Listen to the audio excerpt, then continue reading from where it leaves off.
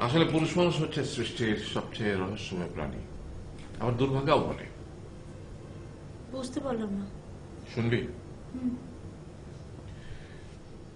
গাধাকে সৃষ্টি করার পর তাকে বলা হলো সকাল থেকে সন্ধ্যা পর্যন্ত তাকে ক্লান্তিহীন পরিশ্রম করতে হবে। সারা জীবন তাকে পিঠে ভারী বোঝা বইতে হবে।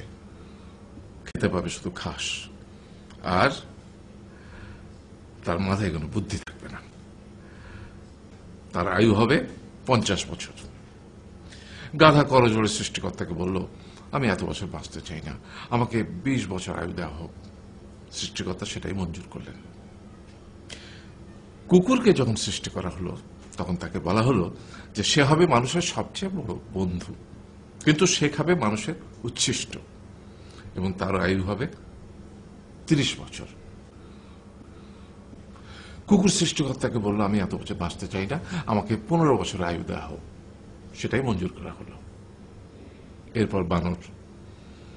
বানরকে বলা হলো, তুমি শুধু গাছের এডাল থেকে ও ডালে ঝুল খাবে এবং নানান রকম ফন্দি বিক্রি করে মানুষকে আনন্দ দিবে। তোমার আয়ু হবে বিশ বছর। বানর বলল, আমি বিশ বছর বাঁচতে চাই না, আমাকে দশ বছর দেওয়া হোক। সেটাই মঞ্জুর করা হলো। এবার এলো পুরুষ মানুষের পালা। তাকে বলা হলো যে তুমি হলে প্রাণীগুলোর মধ্যে সবচেয়ে বিচক্ষণ এবং বুদ্ধিমান। সেই জন্য তোমাকে প্রাণীদের শিরোমণি করা হলো এবং তোমার আয়ু হবে বিশ বছর। তখন পুরুষ মানুষ বলল, করজোড়ে বলল সৃষ্টিকর্তাকে যে বিশ বছর আয়ু অত্যন্ত কম। হে প্রভু, আমাকে ওই গাধার সে যে তিরিশ বছর আয়ু চায়নি, সেটা আমাকে দেয়া হোক। ওই যে কুকুর পনেরো বছর ফিরিয়ে দিয়েছিল সেটাও আমাকে দেয়া হোক। আর যে বানর দশ বছর নেয়নি সেটাও আমাকে দেয়া হোক। বিশ বছর অত্যন্ত কম। আমি দীর্ঘদিন বাঁচতে চাই। সৃষ্টিকর্তা সেটাও মঞ্জুর করলেন। তারপর কি হলো? সেই থেকে ছেলেরা পুরুষ মানুষ হিসেবে বাঁচে বিশ বছর।